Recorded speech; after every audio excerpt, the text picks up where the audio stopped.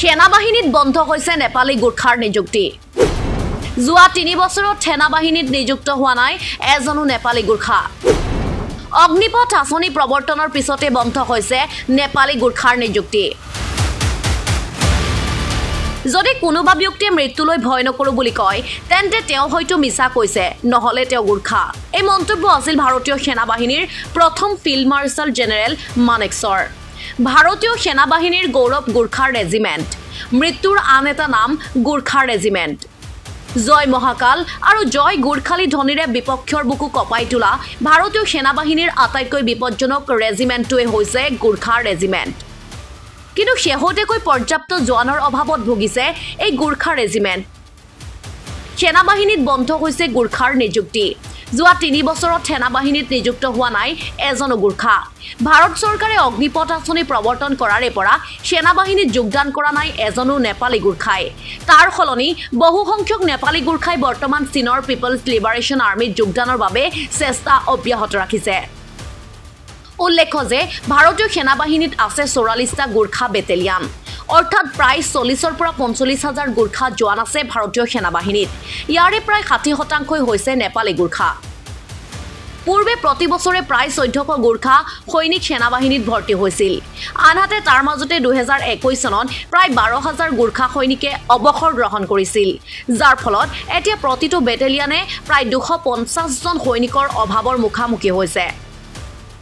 ভাৰত চৰকাৰে দুহেজাৰ বাইছ চনৰ চৈধ্য জুনত সৈন্য বাহিনীৰ বাবে প্ৰৱৰ্তন কৰিছিল অগ্নিপথ আঁচনি।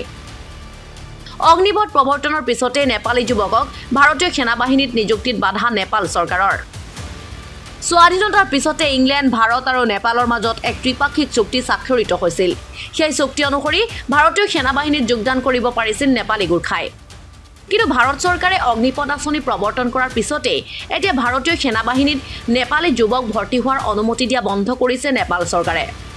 অগ্নিপথ আঁচনিয়ে নেপাল গোৰ্খা জোৱানসকলক কেনেকৈ প্ৰভাৱিত কৰিব তাৰ ওপৰত অধিক স্পষ্টতা বিচাৰে নেপাল চৰকাৰে।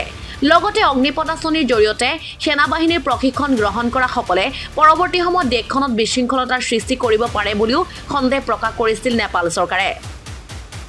অগ্নিপথ আঁচনি প্ৰৱৰ্তনৰ পিছতেই দুহেজাৰ বাইছ চনৰ জুলাই মাহত নেপালী গোৰ্খাৰ বাবে ৰেলী আয়োজন কৰা হৈছিল যদিও নেপাল চৰকাৰৰ অনুমতি নোহোৱাত তাত অংশ ল'ব নোৱাৰিলে কোনেও যাৰ ফলত বাতিল কৰিবলগীয়া হ'ল সেই ৰেলী। আনহাতে চুবুৰীয়া চীনেও নিজৰ সেনা বাহিনীত ভৰ্তি কৰিব বিচাৰে Nepali গোৰ্খাক।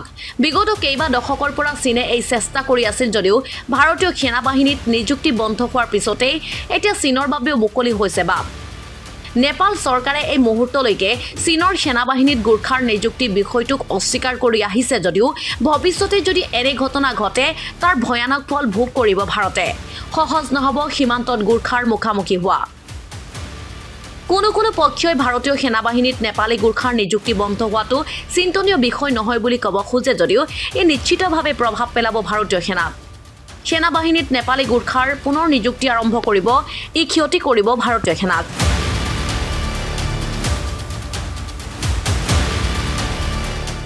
NewsX report the cross current.